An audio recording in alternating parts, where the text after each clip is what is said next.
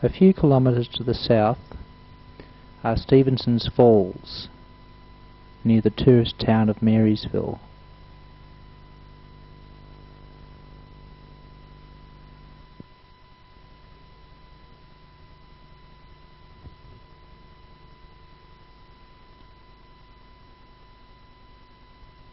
Steavenson's Falls are the highest in Victoria. The total drop is 82 metres.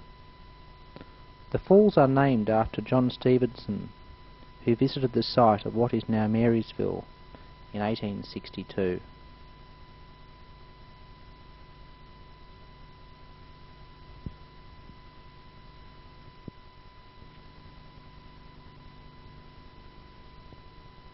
There is a small hydroelectric generator at the base of the falls.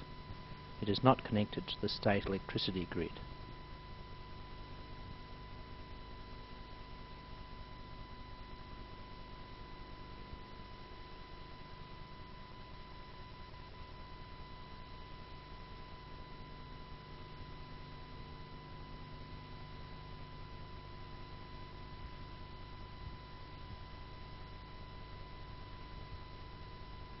It is used to light the paths at night.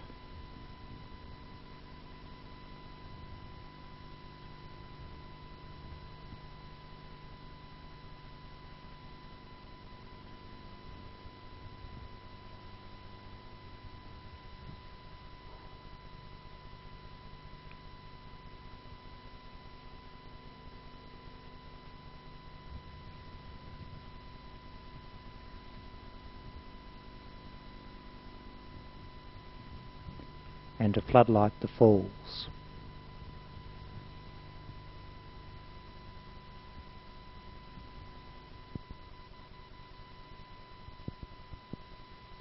The turbine is a Michell cross-flow turbine. It was invented by Australian inventor Michell in 1903. It was manufactured by the Ossberger Company of Germany.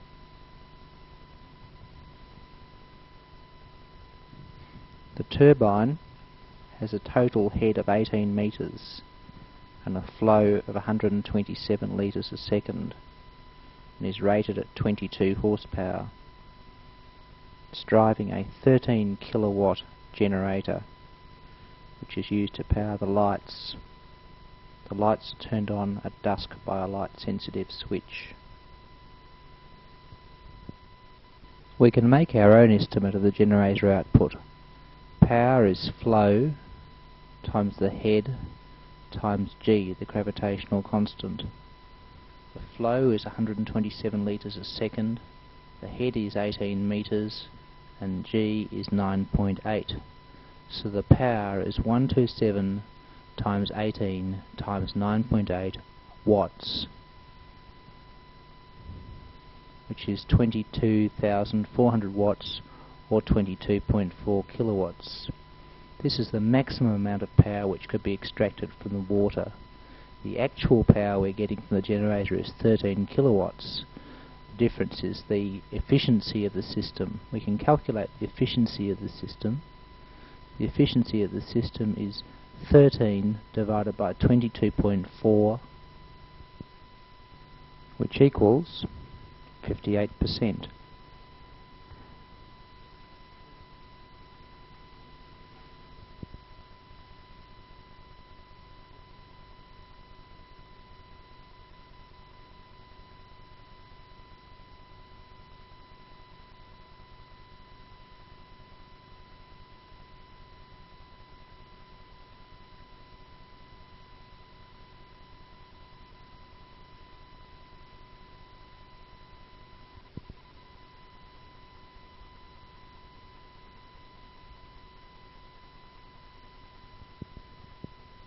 Mount St Gwinear is part of Baw National Park, two hours east of Melbourne.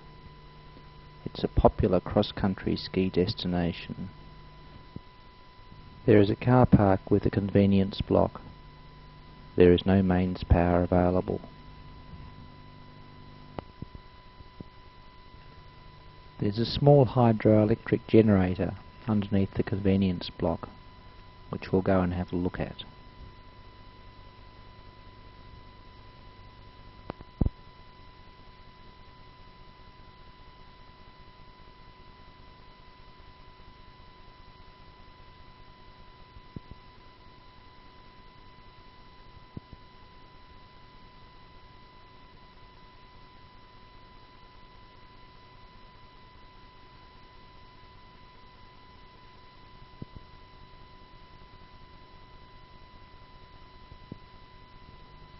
You can see here the inlet pipe, the turbine, and on top of that the generator.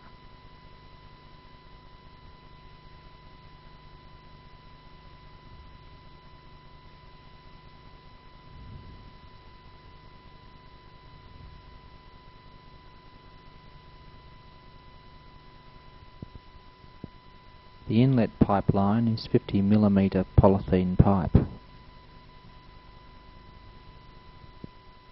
And this is the outlet. The power is used by the sewage digesters, which have a number of small electric fans.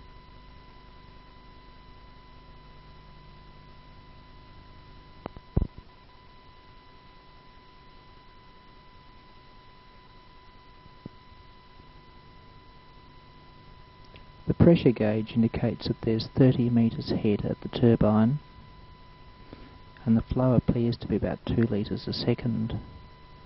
From this we can estimate the output of the generator. The power is the flow rate times the gravitational constant times the head. We know these the flow rate is 2 litres a second and the head is 30 metres.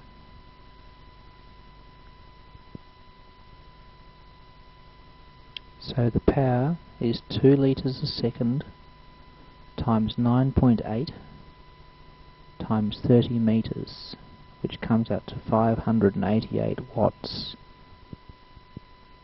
This is the maximum power available from the water the actual output will be less than this, possibly 400 watts.